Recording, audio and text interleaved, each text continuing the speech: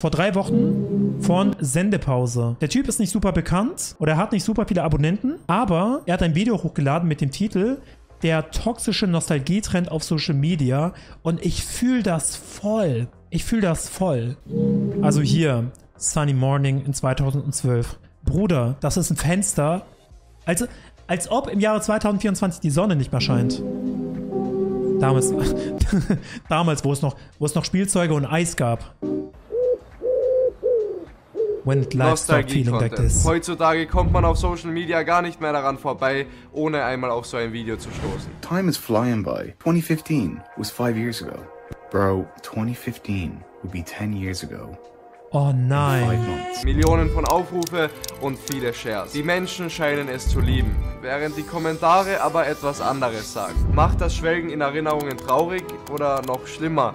Kann Nostalgie right vielleicht zu einer Depression führen? Ich habe mir den vermeintlich harmlos... Ich finde das voll interessant, ne? Also Nostalgie kann sowohl eine positive Gefühle triggern, es kann aber auch negative Gefühle triggern. Ne? Bei mir zum Beispiel ist es so, es triggert nur positive Gefühle, wenn ich über etwas nachdenke von damals, bezüglich, keine Ahnung, irgendwelchen Kinderserien, die ich gerne geguckt habe oder Mario 64 oder was auch immer. Dann denke ich, boah, das war schön. Aber ich habe dann nicht irgendwie im Anschluss dieses, oh, heute ist alles so scheiße. Nostalgietrend näher angesehen. Lasst uns anfangen.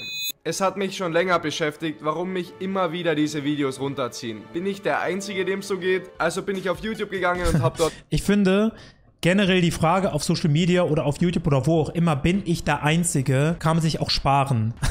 Weil man ist nie der Einzige, wenn man das fragt. Nach Videos gesucht. Und guess what? Es gibt kein Video wie dieses hier. Deshalb habe ich lange recherchiert und alles zusammengetragen. Aber lasst uns von vorne beginnen. Das Gefühl der Nostalgie kennt jeder, aber was genau ist Nostalgie eigentlich und wann werden wir wirklich nostalgisch? Als Nostalgie bezeichnet man die Sehnsucht nach der unwiederbringlichen Vergangenheit. Diese kann sich entweder auf das eigene Leben oder aber auch auf nicht selbst erlebte Zeiten beziehen. Dabei wird zumindest das Gefühl dieser Erinnerung wieder total präsent. Meist eine Mischung aus Wärme und einer bittersüßen Emotion, die einfach in einem hochkommt. Studien zeigen... Ich muss aber gestehen, ich hatte bestimmt auch schon mal Situationen, wo ich an früher gedacht habe und es mich zumindest ein bisschen traurig gemacht hat. Weil ich finde schon, wenn man über früher nachdenkt, dann hat man immer das Gefühl, früher waren auf jeden Fall einfachere Zeiten. So, wisst ihr, wie ich meine? Dass nostalgische Erinnerungen im Alltag vor allem dann getriggert werden, wenn wir alte Musik hören, Bilder anschauen, Gespräche zum Beispiel mit anderen Personen führen oder eben, wenn wir ganz alleine sind und uns einsam fühlen. Einsamkeit oder negative Stimmung sollen tatsächlich die Nummer 1 von den Dingen sein, die nostalgische Erinnerungen auslösen. Aber lasst uns kurz mal einen Blick zurück in die Vergangenheit werfen. Damals gab es da diesen einen Typen, Johannes Hofer. 1688 schon führte dieser den Begriff der Nostalgie ein. Damals aber noch mit dem Glauben, dass Nostalgie eine Art Krankheit Stain hat geschrieben, heute merkt man, dass man damals kaum richtige Probleme hatte. Ich glaube, dass man diese Probleme einfach vergisst. Unser Körper ist ja, oder unser Gehirn ist ja so konditioniert, dass wir uns langfristig sich die schönen Sachen merken und die negativen Dinge vergessen oder verdrängen. Und ich merke das bei mir auch so ein bisschen, ähm, wenn ich an so eine bestimmte Zeitepoche denke, ähm, wo ich 14 war. Und es fühlt sich irgendwie, also mein Gehirn verarscht mich so ein bisschen, ne? Ich weiß, dass es absolut keine schöne Zeit war. Ich habe die meiste Zeit einfach von dem PC gechillt. Meine Eltern haben jeden Tag gestritten. Es war immer laut. Ich dachte immer, es kracht gleich. Ich hatte super wenig Freunde. In der Schule ging es mir auch nicht gut. Ich habe mich mit wenig Leuten verstanden und es gab noch so viele andere Aspekte, die komplett scheiße waren. Also im Gegensatz zu damals ist heute alles besser und trotzdem, wenn ich über diese Zeit nachdenke, denke ich mir so, boah, Nostalgie. Ich damals vor meinem alten PC im alten Kinderzimmer. Windows XP, boah, Windows XP war so geil. Und romantisiere diese Zeit, obwohl ich aber auch irgendwo weiß, dass diese Zeit vollkommen beschissen war. Es ist so crazy. Wäre. Genauer gesagt, eine Hirnerkrankung dämonischen Ursprungs. Ja, das war leider kein Witz. Heute sind wir zum Glück etwas schlauer und wissen, dass Nostalgie keine Krankheit und auch keine psychische Störung ist, sondern eben einfach eine gemischte Emotion. Neuere Studien haben ergeben, dass wir häufiger in Erinnerungen schwelgen, wenn wir uns schlecht fühlen. Die Nostalgie soll. oh, ich bin so traurig. Alexa, spiele Wii Menü Musik. Die Nostalgie soll dabei die das kann nicht sein. Alexa, mach die Musik aus. Willst du mich eigentlich verarschen? Was ist das denn? Ich habe geflüstert und sie hat mich trotzdem gehört. Und warum hat sie Youngmon angemacht? Die negativen Gefühle bekämpfen. Naja, vielleicht nicht so. Nostalgie soll also selbst gar nicht Kummer, Depression auslösen, sondern uns aus schlechten Zeiten raushelfen. Nostalgie ist keine einseitige, sondern vielmehr eine gemischte und damit auch zweiseitige Emotion. Also lasst uns einen genaueren Blick auf die Schattenseite werfen. Während Nostalgie mehrere psychologische Vorteile bietet, kann das zwar Gestärkter Optimismus, Sinn im Leben, soziale Verbundenheit, Rückblick auf Erfolge, erlebtes Revue passieren lassen und stimmungsaufhellend. Zwanghafte Festhalten an der Vergangenheit wirklich negative Folgen haben. Ab Ich habe das so ein bisschen bei meiner Community äh, gemerkt, wenn es um so alte Alblali-Videos geht. Das fuckt mich auch so ein bisschen ab, weil ich zum Beispiel, ich habe mit diesen alten Alblali-Videos abgeschlossen. Ich will nicht mehr Dönerbuden Ali machen, ich will nicht mehr Ali Tales machen, aber Nostalgiker innerhalb meiner Community versucht mich immer wieder zu überreden, dass ich diese alten Formate mal wieder machen soll, dass ich mal wieder Ali Tales machen soll, dass ich mal wieder Dönerbuden Ali machen soll, dass ich mal wieder mit irgendwelchen Leuten was machen soll, mit denen ich seit zehn Jahren nichts mehr zu tun habe. Und das, das ist so nervig, Mann. Als wäre ich irgendwie so eine Cartoonfigur oder irgendeine Serie, wo man dann dem Publisher sagt, bitte mach die Serie mal weiter. Bro, ich bin ein echter Mensch. Habt ihr schon jemals was von dem englischen Begriff Ja, Nostalgic Videospielmythen Depression safe. gehört? Wenn Videospielmythen nicht, dann safe. seid ihr vermutlich nicht die Einzigen. Darunter versteht man die toxische Art der Nostalgie, bei der die Sehnsucht nach der Vergangenheit so groß ist, dass man immer unzufriedener mit der Gegenwart wird. Das Ganze kann wirklich in einer Depression enden, dafür gibt's aber jetzt keinen offiziell anerkannten Begriff, also mit Nostalgic Depression werdet ihr höchstwahrscheinlich nicht diagnostiziert werden. Dazu passend gab's im Jahr 2012 eine Studie über mögliche negative Auswirkungen von Nostalgie. Und das Ergebnis zeigte, diejenigen, die sich häufiger im Alltag Sorgen machen, die tendieren ebenfalls dazu, eher depressionsartige oder Angstgefühle zu erleben, wenn sie über ihre eigene Vergangenheit sprechen. Das hört sich ganz schön heftig an, aber Okay, also ich hätte jetzt eigentlich gedacht, dass Menschen, die im Alltag mehr Angst und Sorgen haben, sich eher in Nostalgie verlieren, weil es ja auch irgendwo eine Komfortzone ist, ne? Und bei mir zum Beispiel ist es auch manchmal so. Also wenn ich irgendwie Auto fahre und aus welchen Gründen auch mal geht es mir nicht gut, ich bin ich bin traurig oder, oder ich habe Angst, dann mache ich manchmal so alte Anime-Intros an. Von irgendwelchen Anime, die damals auf RTL 2 liefen. So Dragon Ball Z, Jan die Kamikaze-Diebin. Und dann singe ich mit. Und das gibt mir richtig krasse nostalgische Gefühle. Dabei haben wir noch gar nicht über das Hauptproblem geredet.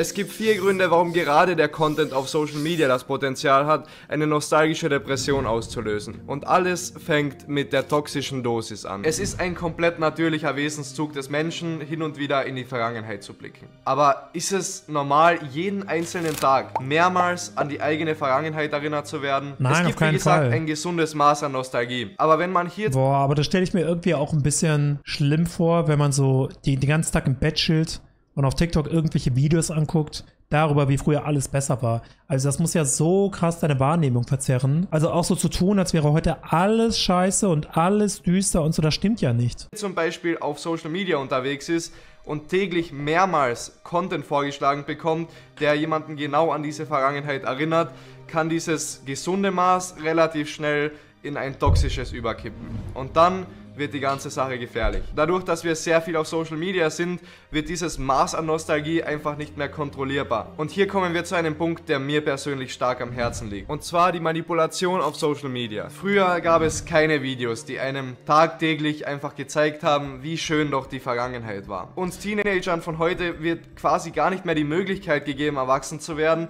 weil wir so stark in unserer Vergangenheit kleben, weil wir ständig daran erinnert werden. Das Älterwerden fällt damit vermutlich unserer Generation viel schwieriger als allen zuvor. Wenn man es genau betrachtet, dann wirkt es einfach so, als würde uns Social Media ständig sagen wollen, die Zeiten, in denen es dir gut gegangen ist, die schönen Zeiten sind jetzt vorbei. Was mich so extrem stört, ist, dass uns ständig vor die Nase gehalten wird, wie wir uns zu fühlen haben. Die Vergangenheit wird ständig romantisiert, während sich die Gegenwart immer mehr traurig und einfach nur beschissen anfühlt. In Wahrheit die Ja, die Sache ist, man denkt auch, dass die 80er zum Beispiel so eine unbeschwerte Zeit war. Alle waren ja so glücklich und so weiter und so fort, aber das stimmt ja auch nicht, ne? Also im Kalten Krieg hatten die Leute die ganze Zeit Angst davor, dass jeden Moment ein Weltkrieg startet wegen dem Kalten Krieg. Und das ist eine Sache, die wir nicht mitbekommen haben, aber wenn man so zurückblickt, dann hat man das Gefühl, so die 80er, boah, was für eine bunte und schöne und glückliche Zeit. Man vergisst vieles. Mittlerweile fangen Leute an, für Corona nostalgisch zu werden. Und ich kann es, also es klingt vielleicht ein bisschen delulu, aber ich kann es ein bisschen verstehen, so diese 2020-Zeit,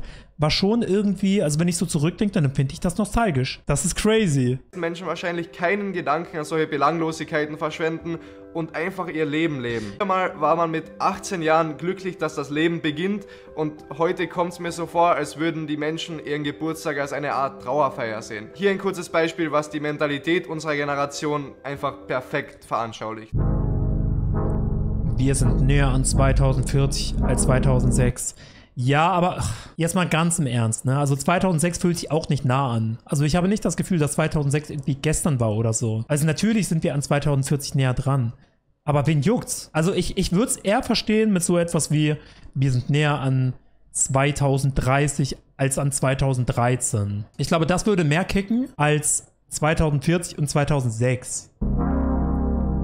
Das Ganze hat nichts mit Rationalität zu tun. Wir lassen uns von Zahlen, einem Konzept, das nicht abstrakter sein könnte, total verrückt machen. Die Zeit geht nun mal nicht rückwärts. Das ist eine der wenigen Dinge, an Äh, Tobias hat geschrieben, Bro, ich kann mich an 2006 gar nicht erinnern, ich war da schon neun. Ich habe 2006 mein erstes YouTube-Video hochgeladen. Ich bin ein alter Opa. denen wir genau gar nichts ändern können. Und trotzdem trägt all das irgendwie dazu bei, dass es sich in meinem und in den Köpfen vieler anderer wahrscheinlich auch einfach so anfühlt, als wäre die Zeit an einem vorbeigeflogen. Social Media verändert unsere Wahrnehmung Ja. Und deswegen, Pro-Tipp, mach deine Highlight-Liste. Mach das wie ich. Mach so eine Jahres-Highlight-Liste. Zum Beispiel, ihr schreibt 2024 Doppelpunkt.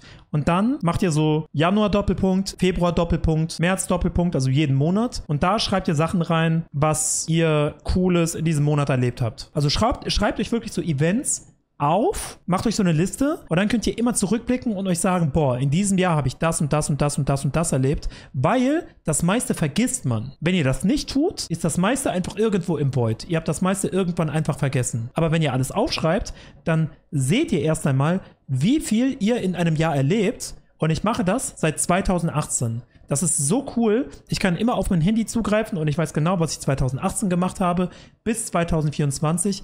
Und dadurch habt ihr nicht das Gefühl, dass das Leben easy an einem vorbeizieht. Dadurch habt ihr das Gefühl, dass ihr echt viel erlebt. und manipuliert unser komplettes Zeitempfinden. Am Ende bringt dieses Video hier nur eine Sache. Und das ist ein extrem schlechtes Gefühl. Entweder wir akzeptieren, wie es ist und lernen damit umzugehen, oder wir entscheiden uns, uns weiter in diese Sachen reinzusteigern, indem wir genau solchen Content konsumieren. True. Früher True. war alles besser. Ein Satz, den vermutlich die Großeltern unserer Großeltern ihren Kindern schon gesagt haben. Aber stimmt das auch? Geht heute wirklich alles den Bach hinunter? Ja, was einige Dinge betrifft schon. canon that R2D2 is is a lesbian. Spaß beiseite, denn die richtige Antwort ist gar nicht so einfach. Ständig die gegenwärtigen Erlebnisse mit der Vergangenheit zu vergleichen, gleicht Äpfeln mit Birnen zu vergleichen. Die Gegenwart wird unseren idealisierten Erinnerungen nie gerecht werden. Was meine ich damit? Sobald man die Dinge miteinander vergleicht, wird man sowieso schon mal unzufrieden. Nicht umsonst heißt es, der Tod jeden Glücks ist der Vergleich. Sehen wir uns als nächstes die psychologische Seite an. Unser Oh, Gehirn wird zwar auch mit einer. Festplatte verglichen, aber wenn es um die Funktionsweise geht, gibt es da sehr große Unterschiede. Unser Gehirn hält nicht alles Geschehene einfach eins zu eins fest, sondern komprimiert und or- organisiert diese ganzen Informationen immer wieder neu. Dabei werden alte Erinnerungen ständig überschrieben. Was tatsächlich passiert ist, wissen wir häufig gar nicht mehr. Die Grenzen zwischen der Realität und der romantisierten Erinnerung verschwimmen. Rosige Retrospektion. So nennen die Psychologen Safe. zumindest diese Tendenz, die Vergangenheit durch eine rosarote Brille zu sehen. Und das ist nur eine der extrem langen Liste von sogenannten kognitiven Verzerrungen, welche unsere Gedanken, unsere Erinnerungen oder unsere Wahrnehmung komplett verändern. Beziehungsweise Ich glaube, ihr habt einfach so eine Wahrnehmungsstörung, Freunde. Irgend so eine Wahrnehmungsstörung. Kognitive Verzerrung. Ich finde das so krass, ne? Wodurch unsere Wahrnehmung immer verzerrt wird. Sei es irgendwelche Erinnerungen, sei es Social Media. Also im Grunde können wir nie hundertprozentig sicher sein, was gerade Realität ist. eben verfälschen. Das beste Beispiel dafür ist wahrscheinlich die Schulzeit. Die meisten von uns würden wahrscheinlich die Schulzeit rückblickend als eine überaus entspannte und eigentlich Nee. sorgenfreie Zeit Nee. beschreiben. Hätte man uns aber damals darauf angesprochen, In der Schulzeit haben sich meine ganzen Traumata gebildet. Die Schulzeit ist schuld. Natürlich auch Haushalt so ein bisschen. Aber ich habe zum Beispiel durch die Schulzeit extreme Angst vor so Dokumentenangelegenheiten. Also wenn es irgendwie um so Finanz-, also um Steuerberater geht. Also der Steuerberater will beispielsweise jetzt von mir, dass ich äh, für irgendeine Erklärung Dokumente von meiner Krankenkasse nachreiche. und äh, von meinen Immobilien und so weiter und so fort. Und ich weiß nicht, ob ich diese, ob ich diese Dokumenten habe. Bestimmt irgendwo, aber ich müsste sie erstmal suchen. Das erinnert mich so krass an Hausaufgaben. Ich bin direkt so geistig überfordert, weil ich damals nie meine Hausaufgaben gemacht habe. Also Elternsprechtage war wirklich das Schlimmste. Ich habe zu Hause gesessen und dachte mir, oh mein Gott, gleich wenn meine Eltern nach Hause kommen, ich krieg so Ärger. Und da hat sich wirklich auch Panik entwickelt. Keine Ahnung, man, die Schulzeit fand ich gar nicht gut. Ich konnte mich auch gar nicht konzentrieren. Wochen hätten wir vermutlich komplett anders darauf reagiert. Ich meine, wenn ich zurückdenke an meine Volksschulzeit, ist der erste Impuls eigentlich nur positiv. Aber umso länger ich darüber nachdenke, desto mehr komme ich drauf, wie viele Dinge eigentlich belastend und negativ waren. Falls du also das nächste Mal in Erinnerungen schwelgen solltest, dann bedenk, dass unser Gehirn ganz schön gut darin ist, hier und da ein paar Anpassungen vorzunehmen. Also, wenn ihr merkt, dass ihr euch vielleicht stärker in solche Dinge reinsteigert, dann überlegt euch vielleicht, dass das nächste Mal zweimal, ob dieser Content wirklich wert ist, konsumiert zu werden. Versucht jeden neuen Tag auf der Erde als Geschenk zu sehen, als etwas, was nicht selbstverständlich ist. Just Wir sollten uns time. einfach darüber freuen, Ja, dass natürlich, wenn jetzt Leute sagen, aber dafür braucht es eine gewisse privilegierte Position, dafür braucht es Geld. Nicht jeder kann einfach eine schöne Zeit haben. Das ist einfach gesagt als getan. Das mag sein, aber was hat man denn für Alternativen, als einfach das Beste aus seiner Situation zu machen? Und ich finde, das ist der Punkt, den viele halt nicht angehen. Ne? Also viele versuchen nicht, aus ihrer Situation das Beste rauszuholen. Und theoretisch, wenn du jetzt gerade so genug Geld hast, wenn du, keine Ahnung, in, deiner, in deinem Apartment lebst oder bei deinen Eltern oder wo auch immer, also wenn du so ein ganz normales Durchschnitt, Durchschnittsleben in Deutschland hast, dann kannst du dir ein schönes Leben gestalten mit gewissen Entscheidungen, die du triffst. Und das ist, ich verstehe das, das ist einfach gesagt als getan. Und so wie ich das sage, setzt es lediglich unter Druck. Aber es ist möglich. Also es ist jetzt nicht komplett unmöglich und es ist auch nicht alles scheiße. die Vergangenheit so gewesen ist, wie sie gewesen ist, anstatt eben darüber zu trauern, dass sie vorbei ist. In nur wenigen Jahren wird diese Zeit, in der du selbst viel zu sehr damit beschäftigt warst, was in deiner Vergangenheit passiert ist, die neue nostalgische Erinnerung sein. Safe, safe. Das ist crazy. Darüber denkt man gar nicht nach. Das, was heute ist, was sich einfach nur nach Alltag anfühlt, ist in fünf Jahren für euch so richtig nostalgisch. Real Talk. Ihr denkt so darüber nach in fünf Jahren, boah, ich weiß noch, man, Sommer 2024, das war crazy. Boah, da habe ich immer diesen einen Song gehört. Da habe ich noch dort gelebt. Da habe ich noch das gemacht. Kann das irgendwie schwer glauben, obwohl es so ist. Ja, das ist einfach logisch. Es wird immer eine Zeit geben, an die wir uns zurücksehnen. Also Zairo, vielen, einfach vielen Dank den für den Moment zu Sub. genießen und im Jetzt zu leben. Mit diesen Worten will ich dieses kleine Downer-Thema auch beenden und wir sehen uns im nächsten Video. Falls Ja. ihr generell Probleme damit habt, mit Social Richtig Media gutes Video. schaut gerne bei Und hier hat zum Beispiel eine in den Kommentaren geschrieben, yo, ich schreibe normalerweise nicht großartig Kommentare, aber das muss ich jetzt, das muss ich jetzt einfach mal loswerden. Danke. Wirklich. Irgendwie habe ich das Gefühl, dein Video hat mich ein bisschen in die Realität zurückgezogen. Ich hatte wirklich etwas zu kämpfen die letzten Monate und hing auch immer mehr an meiner Kindheit. Dieser Nostalgietrend hat mein Denken immer weiter bestärkt, wie schön doch früher alles war. Aber dieses Video hat mich etwas wachgerüttelt und mich zum Nachdenken angeregt und ich fühle mich schon ein bisschen besser. Und ich finde, das ist ein schöner Kommentar.